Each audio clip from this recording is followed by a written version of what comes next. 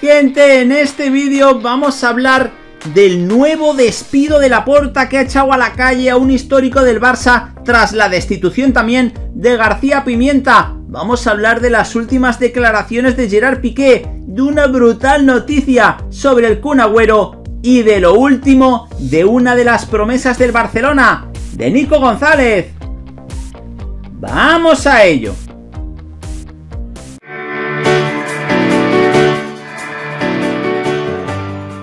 Hola de nuevo gente, ¿cómo estáis? Bienvenidos de nuevo a otro vídeo para el canal. Vamos a analizar la última hora del Fútbol Club Barcelona.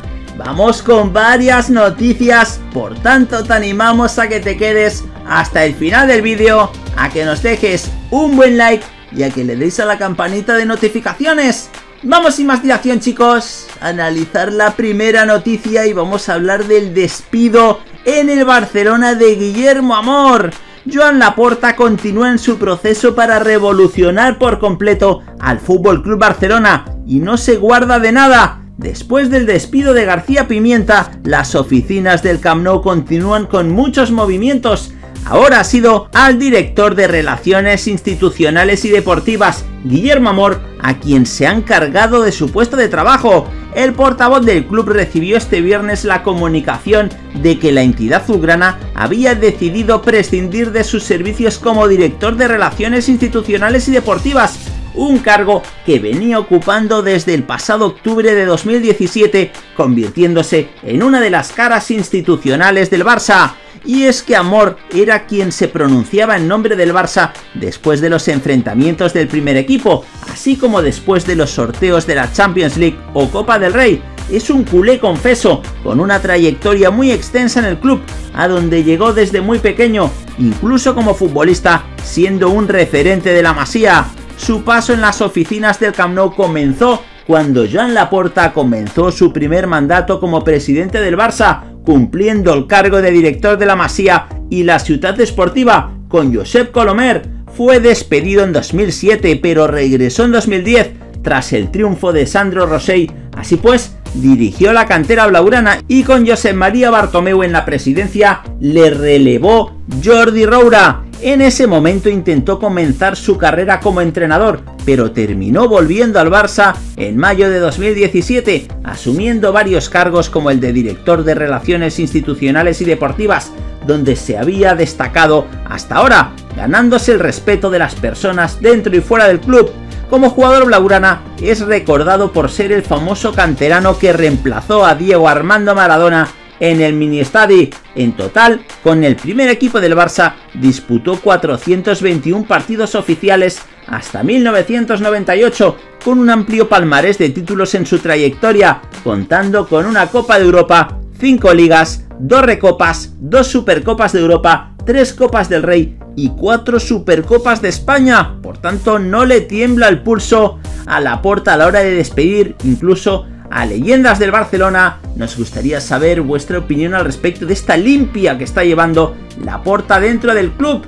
Y vamos a hablar ahora, chicos, de las palabras brutales de Gerard Piqué con Ibai Llanos. Pocas personas más sinceras hay en el Barcelona que Gerard Piqué. El central volvió a hablar y aseguró que se marchará del Barça siempre que así se lo digan directamente.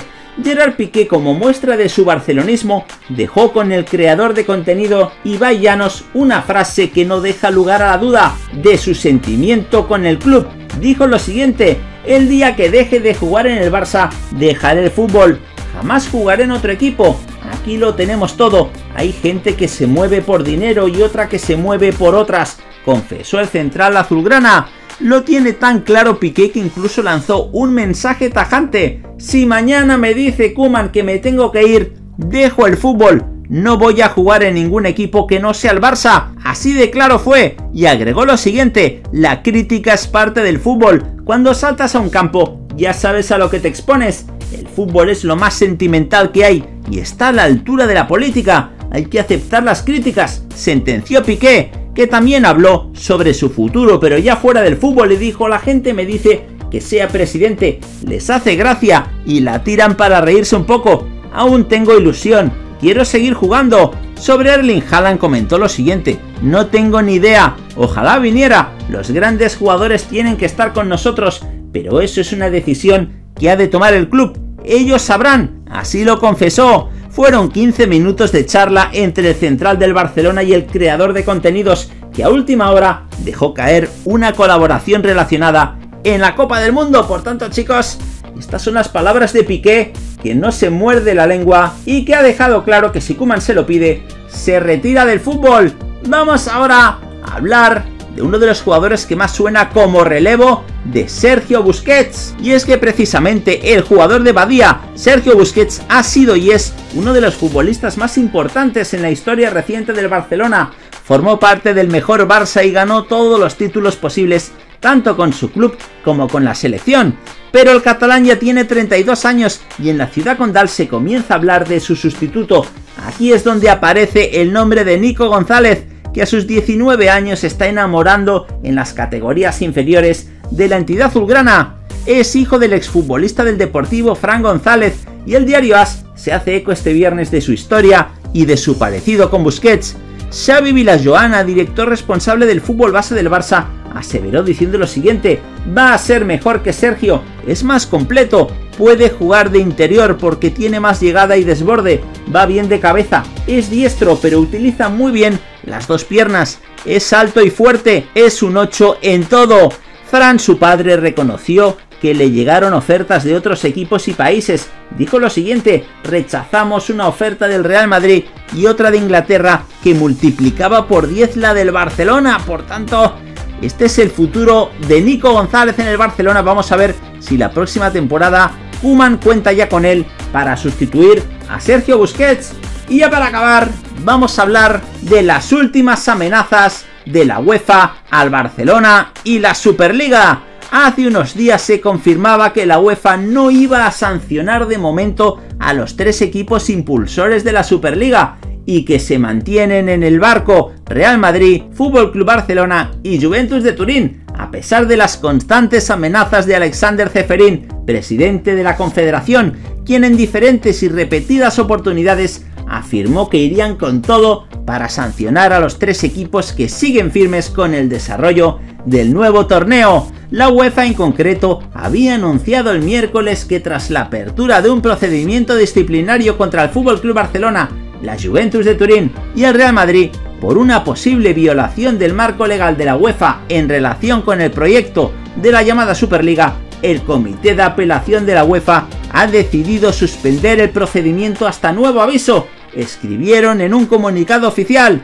Aunque la Confederación de momento no puede hacer nada, Ceferín ha declarado en Rai Sport que no descansarán hasta que puedan llegar a una conclusión con respecto a la Superliga y sancionar a los tres grandes de Europa. Dijo lo siguiente, la justicia a veces es lenta, pero siempre llega. Por como yo lo veo, la suspensión no es definitiva. Vamos a resolver el caso en los tribunales, aclararemos los temas legales y luego seguiremos, aseveró Ceferín. A su vez, ha vuelto a cargar contra los tres equipos y les criticó directamente por su actuación al crear una competición que no cumple con el reglamento de la UEFA. En concreto, el esloveno ha dejado claro lo siguiente, los tres clubes parecen niños que no van al colegio durante un rato, no los invitan a las fiestas y luego intentan entrar con la policía, explicó Ceferín. El máximo mandatario de la Confederación del Fútbol Europeo ha vuelto a atacar a Platini y Andrea Agnelli,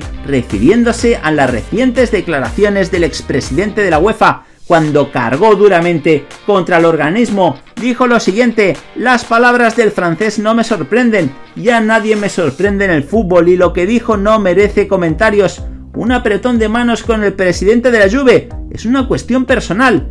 Él lo sabe, declaró. Por último, con respecto al comienzo de la Eurocopa 2020, ha apuntado que es la luz al final del túnel. El fútbol le da esperanza a la gente. Tenemos muchas ganas de empezar y era justo hacerlo en Roma, resaltando que el formato de 12 países no se repetirá de nuevo, diciendo lo siguiente, no estoy de acuerdo con esta fórmula y no creo que volvamos a utilizarla, por tanto, Estas son las nuevas amenazas de Ceferín que a pesar del revés judicial que ha sufrido en este aspecto, no renuncia a castigar a los tres equipos. Nos gustaría saber vuestra opinión al respecto y que por favor nos la dejéis en los comentarios justo debajo de este vídeo. Nada más por el momento, como siempre animaros a que os suscribáis al canal para seguir viendo todos nuestros vídeos y aquí os dejamos este vídeo más que interesante para que sigáis disfrutando de todas las noticias del fútbol. ¡Hasta la próxima!